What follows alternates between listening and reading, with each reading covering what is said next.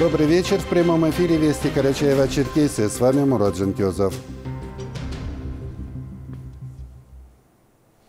Сегодня для нескольких тысяч выпускников школ Карачаева-Черкесии прозвучал последний звонок. У каждого из них позади немало лет учебы, а впереди новый этап жизни. Но именно этот школьный навсегда останется особенным. Вместе с 9 и 11 классниками последний звонок услышал и наш корреспондент Артур Мхце.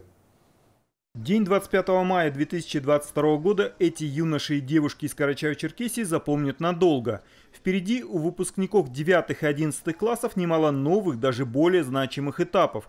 Но именно сегодня с последним звонком для них завершился очень важный школьный период. Своего рода первый большой кирпичик в основании здания под названием «Взрослая жизнь».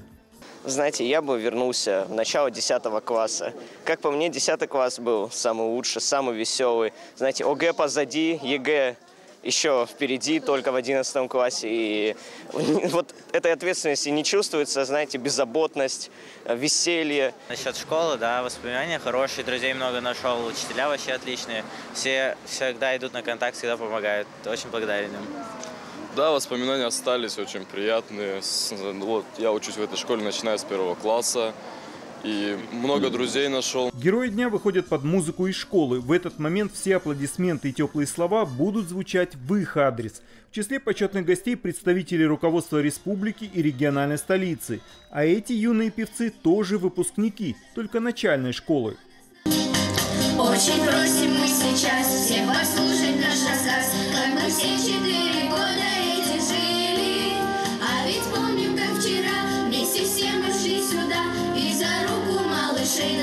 нас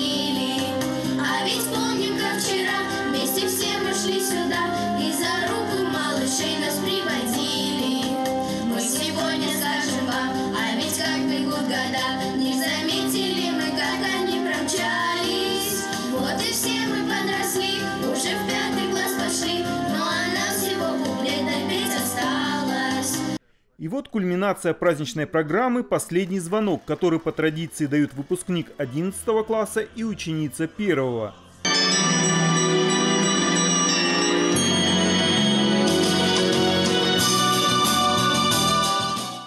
В этот день последний звонок прозвучал и для педагога с более чем 40-летним стажем работы в 9 школе Тины Леонидовны Хубиевой. Многие ее бывшие ученики потом приводили сюда на занятия уже своих детей, а то и внуков. И в этой школе я работаю 42 год. Вот сколько лет я слышала этот звонок, волновалась. И сейчас очень волнуюсь, потому что 11 класс, который я, которым я работаю, я учитель русского языка и литературы. Я тоже их выпускаю, я э, переживаю за них. Я думаю и очень люблю их. Всего в Карачаево-Черкесии торжественные линейки прошли для почти 5000 учащихся 9 классов и около 1800 11-классников. Впрочем, полноценное расставание последних со школьным периодом состоится лишь после сдачи государственных экзаменов. Артур Мухце, Расул Бердиев, Вести Карачаево-Черкесия. Черкеске прошла практическая сессия на тему «Промышленные парки, технопарки как инструмент инвестиционной привлекательности региона». В ней участвовали представители правительства, депутаты Народного собрания, приглашенные гости – Перед собравшимися выступил директор Ассоциации кластеров, технопарков и особой экономической зоны России Андрей Шпиленко. Он рассказал о существующих мерах государственной поддержки, преимуществах строительства технопарков на территории региона, ответил на интересующие вопросы. Главная цель промышленных технопарков – освоение выпуска промышленной продукции и снижение издержек за счет имеющейся инфраструктуры. По результату нашей работы нам необходимо сделать дорожную карту, как мы дальше будем идти. Сегодня я бы хотел услышать, чтобы какие меры поддержки на сегодняшний день в России существуют, что мы можем использовать как инструмент, и больше уйти от совещания, а чтобы была такая практическая работа, которая приведет к нас результату.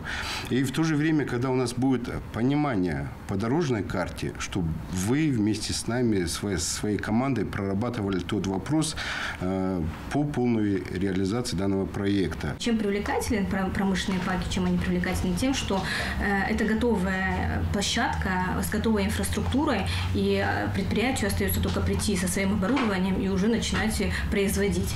То есть он экономит э, на запуске производства, экономит на затратах, в того, что ему не надо закупать площадь, землю, не надо строить корпуса, не надо строить инфраструктуру, потому что это все уже сделано за него. Вести из оперштаба. Сегодня в Карачаево-Черкесии выявлено 5 новых случаев заражения коронавирусной инфекцией. С начала пандемии общее количество заболевших в республике составило 46 012 человек. Из них 44 838 выздоровели, 18 человек госпитализированы. Сейчас время прогноза погоды, после мы продолжим выпуск.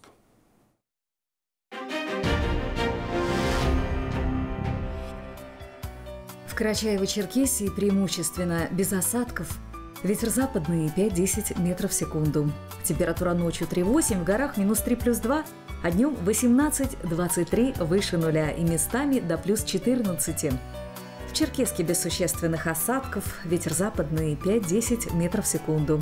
Температура ночью 6-8, а днем 20-22 градусов тепла. Меня зовут Проценко Виталий Викторович. Я врач-анестезиолог, альголог. В последнее время изучаем и занимаемся лечением боли. Хронической боли, острой боли, боли, связанной с заболеванием опорно-двигательного аппарата. Не терпите боль. Мы знаем, как вам помочь. Клиника управления болью на базе клиники «Сити». Экономьте с умом. Качественные окна по низким ценам. Скидка 47%. Замер бесплатно. Оконный комбинат. 8 938 333 92 0.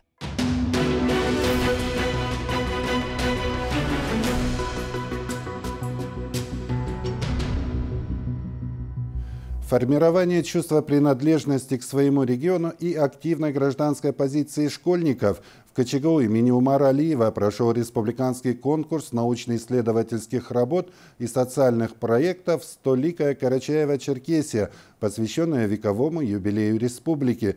В научном состязании по направлениям политика, экономика, история и культура приняли участие учащиеся 8-11 классов, СУЗов и авторские коллективы. Подробнее о конкурсе расскажет Алихан, Лепшоков. Этот конкурс позволит подрастающему поколению научиться основам проектной деятельности. И самое важное – это изучение и сохранение историко-культурного наследия народов Карачаева-Черкесии. В республиканском конкурсе принимают участие учащиеся 8-11 классов, студенты СУЗов, а также авторские коллективы. Мы уверены, что такие площадки способствуют популяризации научно-исследовательской деятельности среди молодежи, отмечают организаторы. У нас появилась идея посмотреть, сколько же талантливых учеников или же студентов колледжа у нас есть в республике. И появилась идея данного конкурса с тем, чтобы дать возможность инициативной, активной молодежи проявить себя. И, честно говоря, мы не пожалели, потому что на конкурс пришло очень большое количество работ. После пленарной части конкурса участники разошлись по аудиториям для защиты своих научных работ. Члены жюри конкурса могли ознакомиться с работами ребят по трем направлениям – социальные и творческие проекты, научно-исследовательские работы. Как много значит для нас это слово. Это место, в котором ты родился и в котором ты живешь. Это наш общий дом. У каждого человека живущего в России, есть и своя малая родина. Именно об этом сегодня мы, сегодня мы и поговорим. В итоге первое место и главный приз планшет выиграла студентка аграрно-технологического колледжа поселка Эркин-Шахар Аиша Бирабасова, научный руководитель Ирина Баймурзова. Второе место заняли ученицы 19-й гимназии Черкеска Алана Кубанова и Алина Хапаева. А третье досталось студентам среднепрофессионального колледжа СКГ Дамиру Богатыреву и Эльдару Доттаеву. Ректор КЧГУ Талшултан Узденов вручил ребятам грамоты и в подарок каждому призеру внешние жесткие диски. Алихан Лепшоков, Аслан Гирюгов, Вести Карачаева-Черкесия, Карачаевск. В стенах Карачаева-Черкесского исламского института имени имама Абу Ханифа прошла Олимпиада среди студентов первых трех курсов вуза, в ходе которой отбирали лучших, чтобы они представили нашу республику на Всероссийской Олимпиаде в Казани. Преподаватели Исламского института, в числе которых и ученые из университета Аль-Асхар, проверяли знания молодых людей по трем номинациям – арабский язык, чтение Корана и знание канонов ислама. Вопросы и ответы задавали и отвечали на арабском языке. По итогам экзамена отобрали трех студентов, которые поедут на Всероссийскую Олимпиаду в Казань. Победителям ректор Карачаево-Черкесского исламского института Мухаммад Батчаев вручил грамоты, медали и ценные подарки и призы всем участникам. Вы наше лицо, вы будете представлять нас э, за пределами этого института. И, иншаллах, верим, что вы достойно будете нас представлять. И дай Аллах, чтобы вы не только в таких соревнованиях выигрывали, а именно выигрывали во всей своей жизни, чтобы у вас все шло вперед.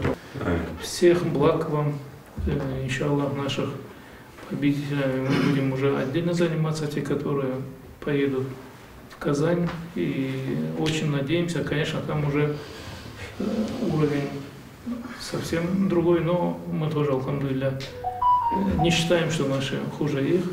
Наоборот, рассчитываем, что не только места, будут высокие места получать там, и тем не менее будут отражать то знание, которое они получали здесь, у нас в Исламском институте.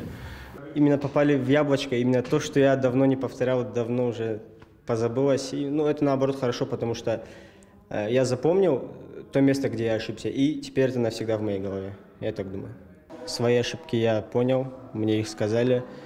Э, к следующему разу нужно исправить эти ошибки, подтянуть знания и быть более готовым э, ко всему, к, раз, к различным э, таким тонкостям, которые бывают в вопросах. В физкультурно-оздоровительном комплексе села Дружба прошел межрегиональный турнир по боксу, посвященный Дню Возрождения Карачаевского народа. В нем приняли участие спортсмены из субъектов Северокавказского федерального округа. Смотрите подробности. Турнир проводился несколько дней, а в воскресенье состоялись финальные поединки. Перед этим участников и гостей приветствовали концертная программа «Лучшие артисты Прикубанского района». С напутственным словом к юным боксерам обратился президент Федерации бокса Республики Аслан Карданов. Турнир посвящен возрождению карачаевского народа. Участники приехали с полностью все, все из КФО. Это представители Кабардино-Балкарии, Ставропольского края, а, Ингушетия, Дагестан, Чечня. Ну, естественно, наши ребята с Карачаева-Черкесии. Уровень очень хороший, радует, смотришь, ребята, вот все, сейчас уровень начал подниматься, ребята начали в бокс идти, и видно, школа уже совсем другая у ребят, тянутся, подтягиваются все. Любая спортивная дисциплина требует контроля и оценки действий и состояния участников, а в таком опасном виде спорта, как бокс, точно нельзя пускать поединок на самотек. Все происходящее на ринге фиксируется в документах. Ведется записка, судейская записка, которая оценивает каждого боксера. Вот трое сидим и оцениваем, кто сколько ударов наносит и как наносит. Удар считается засчитанным, который, если удар прошел, чисто, акцентированно, беспрепятственно в положенное место. После трех раундов один боксер немного грустный, ну а победитель не скрывает своей радости. Ну, начинается он в 5 часов, заканчивается в 8 часов. Дальше я еще могу сказать, что на тренировках очень сложно. Моя подготовка была плохой, потому что недавно я палец сломал. И под, на подготовку у меня было очень мало времени. Какая твоя самая большая мечта как боксера? Стать чемпионом мира. Бокс – это в первую очередь прекрасная физическая подготовка. Кроме того, он помогает оперативно реагировать на любую жизненную ситуацию. Довольны и родители тем, что их ребенок занимается этим видом спорта. Сегодня мой сын Мамаев Ибрагим принимает участие в боксе. Он сегодня выиграл. Ну, я так думаю, что его таким сильным, таким воспитанным человеком сделал его тренер. Нам он наш родственник. Мы знали его давно и отдали предпочтение боксу. Мы ни одного дня не жалеем. Он воспитал в нем очень хорошего воспитанника и хорошего боксера. По итогам турнира в общекомандном зачете на первом месте боксеры Карачаева-Черкесии. Мурат Шанкезов, Руслан Харченко, Вести Карачаева-Черкесия. Это все вести прямо сейчас. Смотрите вечер с Владимиром Соловьевым. Всего вам доброго и до встречи.